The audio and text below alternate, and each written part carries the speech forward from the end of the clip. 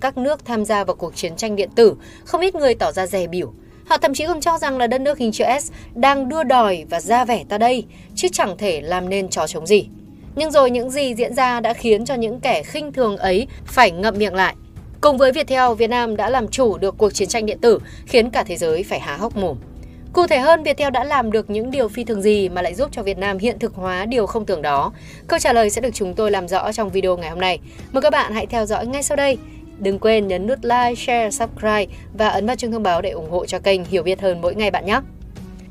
Dành cho những ai chưa biết về cuộc chiến tranh điện tử, đây là cuộc chiến liên quan mật thiết về lĩnh vực tác chiến điện tử, một phương thức tác chiến gồm tổng thể các hoạt động của quân đội được tiến hành thống nhất theo mục đích, nhiệm vụ, địa điểm, thời gian nhằm loại trừ, ngăn chặn hoặc làm giảm hiệu quả các hệ thống chỉ huy, khả năng điều khiển vũ khí bằng các phương tiện điện tử của đối phương.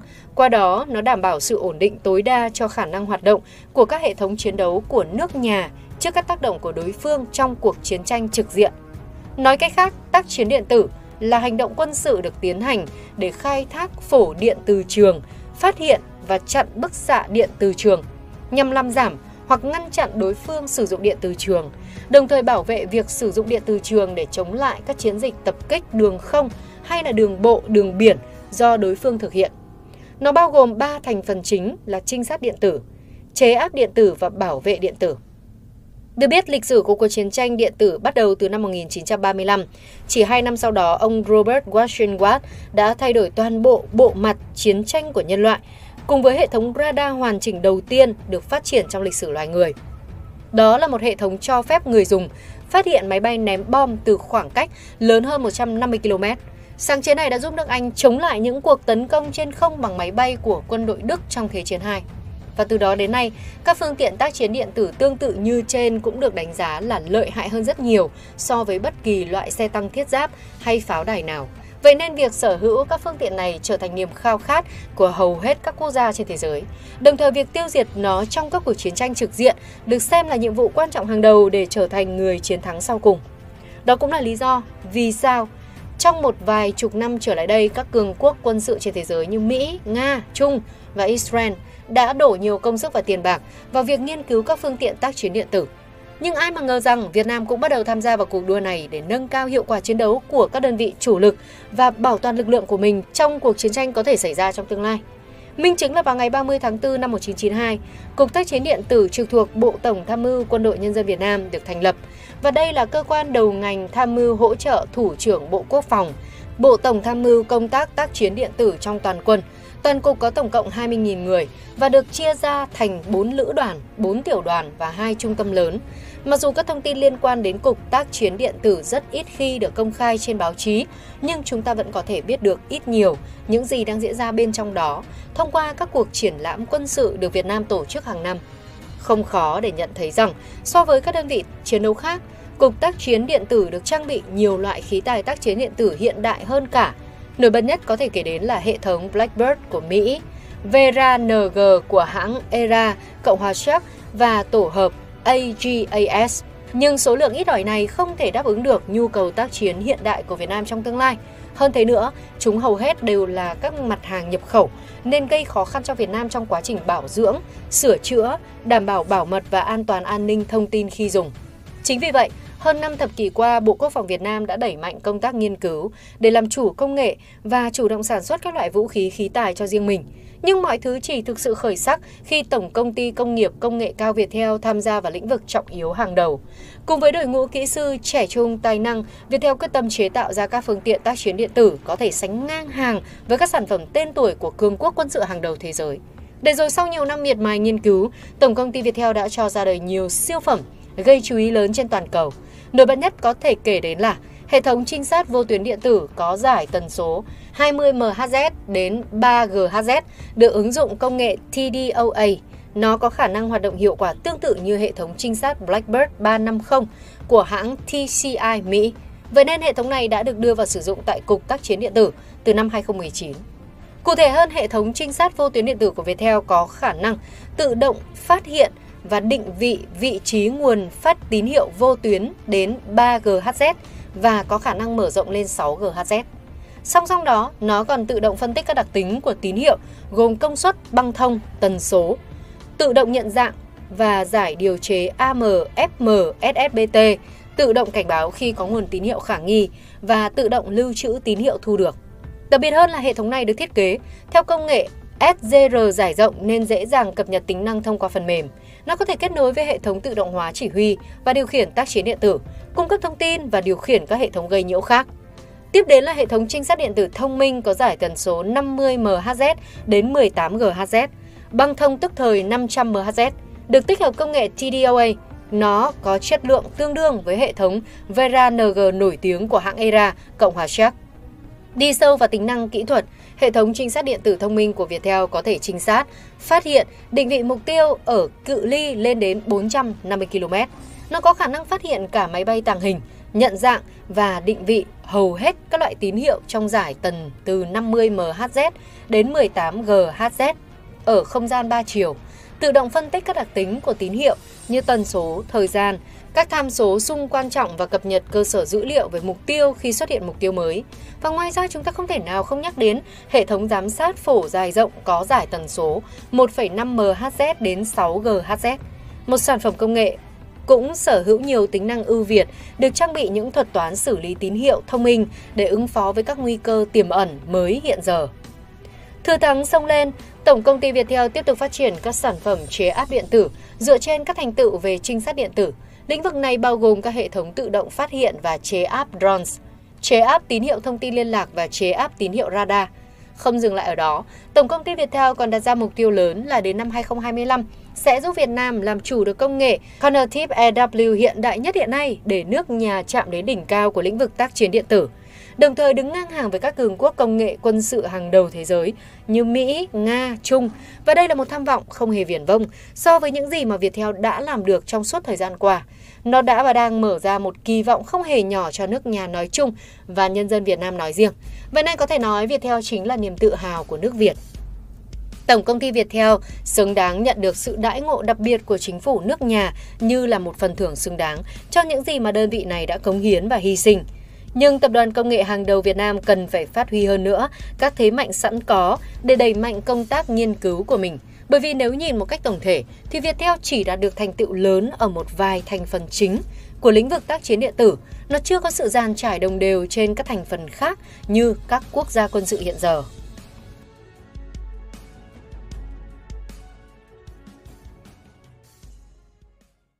Trải qua nửa đầu năm 2024, Quốc phòng Việt Nam liên tiếp đón những tin vui về vũ khí trang bị. Đầu tiên là việc chúng ta nhận lô máy bay L-39NG đầu tiên của Cộng hòa Séc. Sau đó là đến UAV hiện đại của Israel. Gần đây nhất là những tin đồn về việc ta đã mua lại bản quyền sản xuất pháo K9 Thunder của Hàn Quốc. Điểm chung của tất cả những hàng nóng này là chúng ta đều theo tiêu chuẩn của NATO. Cũng tức là Việt Nam đang dần loại bỏ sự phụ thuộc vào vũ khí của Nga, thay vào đó là tìm tới các đối tác mới đều là đồng minh của Mỹ. Thay đổi lớn này của quân đội Việt Nam đã va phải ánh mắt của anh bạn hàng xóm Trung Quốc. Mới đây trên trang mạng Tencent đã có bài viết với tựa đề nếu Việt Nam bỏ Nga chạy theo vũ khí tiêu chuẩn NATO, liệu họ có đang đi theo con đường chống Trung Quốc? Bài viết này đã thu hút rất nhiều lượt xem và để lại bình luận của cư dân mạng xứ Trung. Vậy họ đã nói gì về vấn đề này? Chúng ta hãy cùng tìm hiểu nhé. Đầu tiên hãy cùng nghe ý kiến của tác giả trước. Người này viết, trong số tất cả các nước láng giềng của Trung Quốc, Việt Nam được xem là có mối quan hệ đặc biệt với chúng ta nhất. Một mặt giữa Trung Quốc và Việt Nam có tình hữu nghị, đồng chí, anh em, có chung xu hướng phát triển hội nhập ở cấp độ kinh tế. Nhưng ở mặt khác, hai nước đang có tranh chấp chủ quyền lãnh thổ trên biển. Vì vậy, việc Việt Nam có đưa lực lượng nước ngoài vào lãnh thổ để đánh Trung Quốc hay không, thậm chí vũ khí Việt Nam mua từ đâu cũng đều là những vấn đề mà Trung Quốc cần phải để ý. Trước đây phần lớn vũ khí mua sắm của Việt Nam đến từ Nga. Tuy nhiên sau khi xung đột Nga-Ukraine bùng nổ, nguồn cung vũ khí của quân đội Việt Nam gặp phải vấn đề lớn. Nếu Việt Nam tiếp tục mua vũ khí Nga thì không những không đáp ứng được nhu cầu hiện đại hóa quân sự mà còn phải đối mặt với nguy cơ bị Mỹ và châu Âu trừng phạt. Nếu Việt Nam quay sang mua vũ khí từ các nước phương Tây thì giá cả sẽ là vấn đề lớn, bên cạnh đó còn là sự khác biệt về tiêu chuẩn. Vì vậy có thể thấy rõ sự thay đổi lớn về nguồn cung cấp vũ khí cho quân đội Việt Nam thời gian qua. Cách đây không lâu, Hải quân Việt Nam đã bày tỏ ý định mua tàu tên lửa thế hệ mới của Ấn Độ. Tàu chiến chủ lực hiện tại của Hải quân Việt Nam vốn là các tàu tên lửa tấn công nhanh tia chớp và tàu hộ vệ lớp Gepard của Nga. Do vậy, lựa chọn tàu chiến của Ấn Độ để thay đổi cũng là điều hợp lý. Nhưng chưa hết, mới đây, quân đội Việt Nam lại bày tỏ ý định mua hệ thống pháo tự hành K9 Thunder của Hàn Quốc. Nếu thương vụ này được ký kết đồng nghĩa với việc thiết bị chiến đấu chủ lực của lục quân Việt Nam đã bắt đầu được NATO chuẩn hóa. Đây là một tin xấu đối với quân đội Nga. Theo như truyền thông đưa tin, Thứ trưởng Bộ Quốc phòng Việt Nam và Bộ trưởng Bộ Quốc phòng Hàn Quốc khi gặp mặt ở Hà Nội đã đồng ý tăng cường hơn nữa hợp tác thực tế trong nhiều lĩnh vực như hợp tác công nghiệp quốc phòng và hậu cần. Việt Nam tuyên bố rất coi trọng hệ thống vũ khí của Hàn Quốc và bày tỏ ý định mua lại pháo tự hành K9 Thunder và tiến tới chuyển giao công nghệ để sản xuất tại Việt Nam. Pháo K9 đối với Việt Nam không chỉ để hiện đại hóa quân đội mà còn là bước chuyển đổi sang sử dụng đạn pháo tiêu chuẩn NATO. Khác với loại pháo tự hành 152 ly tiêu chuẩn Liên Xô, K9 là loại pháo tự hành cỡ nòng 155 ly. Kể từ khi ra mắt vào năm 1999, nó đã chiếm được hơn một nửa số đơn đặt hàng pháo tự hành trên thị trường toàn cầu. Nó đã được xuất khẩu sang 8 quốc gia bao gồm Thổ Nhĩ Kỳ, Ba Lan, Phần Lan, Estonia, Ấn Độ, Na Uy, Úc và Ai Cập. 6 trong số này là các nước thuộc khối NATO. Theo đó, Việt Nam đang tìm cách mua tới 108 khẩu pháo K9 Thunder. Đây sẽ là một hợp đồng rất lớn. Vậy việc Việt Nam chạy theo tiêu chuẩn NATO trong trang bị vũ khí có ảnh hưởng gì tới Trung Quốc hay không? Nga trước đây cung cấp khoảng 80% nguồn vũ khí cho Việt Nam và hiện nay xu hướng tất yếu là phải đa dạng hóa nguồn cung. Tuy nhiên, lựa chọn của Việt Nam không phải là mua vũ khí từ Mỹ và các nước châu Âu, mà là chọn Ấn Độ và Hàn Quốc, nhưng vẫn theo tiêu chuẩn NATO. Đây thực sự là tình thế tốt hơn cho Trung Quốc, bởi vì dù K9 là vũ khí đạt tiêu chuẩn NATO, nhưng Hàn Quốc không phải là quốc gia thuộc khối NATO, nên có thể tránh việc Việt Nam trở thành con rối của Mỹ và phương Tây. Nói vũ khí theo tiêu chuẩn NATO thì cũng rất khó định nghĩa rõ ràng bởi vì kể cả Trung Quốc cũng sẽ sản xuất vũ khí tiêu chuẩn NATO và xuất khẩu sang các nước Trung Đông. Đối với quân đội Việt Nam, bài toán nan giải hiện đại hóa trong tương lai gần là điều không thể. Nếu đưa vũ khí của phương Tây vào sử dụng sẽ bị hạn chế do chi phí đắt đỏ, đi kèm với sự chi phối về chính trị, mà còn phải nhìn sắc mặt của Trung Quốc. Còn mua vũ khí từ Ấn Độ và Hàn Quốc thì có thể đa dạng hóa nguồn cung nhưng khó tạo ra lực lượng tác chiến thống nhất. Chúng ta thậm chí có thể hiểu rằng việc Việt Nam mua trang bị từ Hàn Quốc là một phần trong chiến lược phòng ngừa rủi ro trong bối cảnh căng thẳng giữa Mỹ và Trung Quốc gia tăng. Dựa trên thực tế, khoảng cách sức mạnh quân sự giữa Trung Quốc và Việt Nam ngày càng lớn, quân đội Việt Nam đã lựa chọn phương án thiết lập sự tin cậy lẫn nhau sâu sắc hơn với quân đội Trung Quốc thay vì đối đầu. Điều này đáng được chúng ta khen ngợi. Bộ trưởng Quốc phòng Trung Quốc Đồng Quân đã tới Việt Nam vào tháng trước. Đây là chuyến công du nước ngoài đầu tiên kể từ khi ông nhậm chức. Trong buổi gặp mặt với Bộ trưởng Quốc phòng Việt Nam Phan Văn Giang, hai bên đã đồng ý thiết lập đường dây nóng hải quân. Tóm lại, việc vũ khí Việt Nam đi theo tiêu chuẩn NATO không có nghĩa là Việt Nam sẽ đi theo con đường chống Trung Quốc trong tương lai. Ưu tiên mua vũ khí từ Ấn Độ và Hàn Quốc đã chứng minh quan điểm này. Hơn nữa đây còn có thể là xu hướng mua sắm trang bị của Việt Nam. Nên chúng ta hãy cứ thản nhiên, coi như là điều bình thường. Đó là tất cả nội dung bài viết trên trang Tencent. Có thể thấy những quan điểm mà tác giả đưa ra khá ôn hòa và có phần hiểu cho tình thế của Việt Nam hiện nay. Tuy nhiên điều đáng nói là phía dưới bài viết này có khá đông cư dân mạng đã để lại bình luận không đồng tình với ý kiến của tác giả. Họ cho rằng Việt Nam đang chống Trung Quốc. Một số bình luận tiêu biểu như Việt Nam chống Trung Quốc từ trong cốt tủy. Hiện tại họ trở nên hiền lành vì không còn chỗ dựa vững chắc nữa mà thôi. Họ hơi giống Ấn Độ, muốn trở nên hùng mạnh nhưng lại không muốn dựa vào Mỹ và phương Tây, càng không muốn dựa vào Trung Quốc. Họ cũng hơi giống Hàn Quốc, từng là nước chư hầu của Trung Quốc và thậm chí còn bị chúng ta trực tiếp cai trị. Các khía cạnh như chính trị, kinh tế, văn hóa đều chịu ảnh hưởng sâu sắc từ Trung Quốc. Bây giờ họ muốn thoát khỏi ảnh hưởng này và thể hiện sự độc lập, đặc biệt là về mặt văn hóa. Vì vậy, thái độ đối với Trung Quốc có thể miêu tả là đầy mâu thuẫn. Vừa muốn đi theo con đường phát triển của Trung Quốc, lại muốn thoát khỏi tầm ảnh hưởng của Trung Quốc. Một người khác thì nói, đối với con sói mắt trắng này mà nói, khả năng chống Trung Quốc là rất cao. Đây không phải điều chúng ta tưởng tượng. Có lẽ họ còn chống Trung Quốc mạnh mẽ hơn cả chúng ta nghĩ nữa. Hãy cảnh giác, Trung Quốc không nên xây dựng cơ sở hạ tầng cho Ấn Độ và Việt Nam. Điều này sẽ gây bất lợi cho Trung Quốc trong tương lai. Một người khác thì để lại ý kiến thách thức. Cứ tiếp tục mở rộng buôn bán với Việt Nam đi để họ có tiền mua vũ khí trang bị tối tân của phương Tây rồi đánh với ta. Việt Nam luôn có tư tưởng chống Trung Quốc, bằng chứng rõ ràng nhất là việc họ từng sử dụng vũ khí do Trung Quốc viện trợ để tấn công chính chúng ta, dẫn đến cuộc phản công tự vệ trong quá khứ. Có thể thấy ở Trung Quốc, vẫn luôn có những người mang suy nghĩ tiêu cực, luôn mang tư tưởng nước lớn đối xử với nước bé để nói về Việt Nam chúng ta.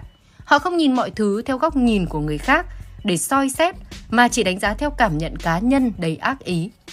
Để mà nói việc Việt Nam hợp tác quốc phòng với các nước trong thời gian gần đây thì không chỉ có mấy nước mà bài viết đã nêu ra. Ngoài Nga, Việt Nam đã mua một số công nghệ cốt lõi từ Israel mà nổi bật là dây chuyền chế tạo súng trường Galin ACE, rồi Belarus với công nghệ cải tiến tên lửa phòng không và công nghệ tên lửa đạn đạo, tàu ngầm mini từ Triều Tiên. Bên cạnh đó cũng ghi nhận là ta có một số hợp tác nhất định với Ấn Độ và sắp tới có thể là Hàn Quốc. Về mua trang bị vũ khí thì các nước mà Việt Nam hợp tác đếm không xuể. Bởi vậy nên có thể nói đây là điều hết sức bình thường trong tình hình hiện nay, chả có nhằm mục đích chống ai ở đây cả.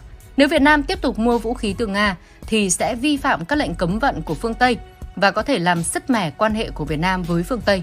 Còn nếu Việt Nam ngưng các hoạt động hợp tác quốc phòng với Nga thì sẽ không chỉ gây khó khăn cho quá trình hiện đại hóa quân đội Việt Nam và có thể ảnh hưởng đến các hoạt động bảo trì, bảo dưỡng các vũ khí của Nga mà Việt Nam đang sử dụng. Tuy nhiên, về dài hạn, Việt Nam sẽ phải tìm mọi cách để giảm sự phụ thuộc vào Nga. Trong bối cảnh đang bị cấm vận, năng lực của Nga cung cấp các vũ khí, các trang thiết bị mà Việt Nam mong muốn sẽ bị hạn chế. Vi phạm các lệnh trừng phạt của quốc tế cũng không phải là điều mà Việt Nam mong muốn. Chính vì thế Việt Nam hiện đang tìm cách mở rộng quan hệ thương mại quốc phòng với các đối tác mới, ví dụ như Israel, Séc, Belarus, Triều Tiên, Hàn Quốc hay kể cả Mỹ, Nhật, các nước Đông Âu vẫn có các mặt hàng phù hợp với điều kiện của Việt Nam. Các triển lãm quốc phòng mà Việt Nam tổ chức gần đây cho thấy ý định của Việt Nam là đa dạng hóa các nguồn cung. Tuy nhiên Việt Nam cần có thêm thời gian để làm tốt việc này. Chính vì vậy trong thời gian trước mắt, ít nhất là trong 5 đến 10 năm tới, sự phụ thuộc của Việt Nam vào các vũ khí của Nga có thể sẽ không giảm quá nhanh và quá nhiều, nhưng tương lai xa hơn thì chắc chắn là sẽ có những bước thay đổi lớn, không kể là tiêu chuẩn NATO hay ở đâu.